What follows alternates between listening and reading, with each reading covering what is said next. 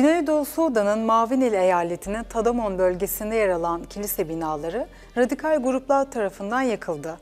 Daha önce de kiliselerin kundaklandığı belirtilirken Maban'da güvenlik nedeniyle ismi açıklanmayan pastörün Morning Star News'a verdiği demeçte yakılan 3 kilisenin bir ay önce iki kez ateşe verildiği belirtildi.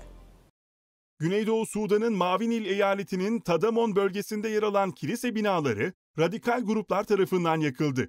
Güney Sudan sınır bölgesine yakın bir kaynaktan edinilen bilgiye göre 28 Aralık'ta yakıldıktan sonra yeniden inşa edilen Sudan Interior Kilisesi, Roma Katolik Kilisesi ve Ortodoks Kilisesi olarak kullanılan binaların yeniden yakıldığı öğrenildi.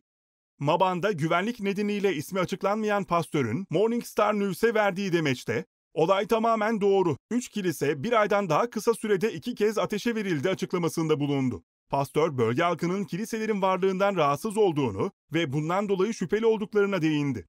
İnsan Hakları Örgütü Hristiyanların soruşturma talebine rağmen polisin hiçbir işlem yapmamasını eleştirdi. Sudan Din İşleri Başkanı Nasr al-Din Mufre, polisin bir şüpheliyi tutukladığını ama delil yetersizliği nedeniyle serbest bıraktığını açıkladı.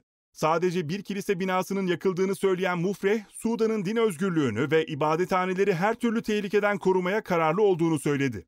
Güvenlik güçleri soruşturmanın devam ettiğini bildirdi. Faillerin tespit edilip adalet önüne çıkarılacağı açıklandı. Sudan Hristiyan olmanın en zor olduğu ülkelerden biri olmaya devam ediyor. Dünya genelinde Hristiyanların uğradığı zulümleri izleyen Open Doors'un 2020 Dünya İzleme listesinde Sudan 7. sırada yer aldı.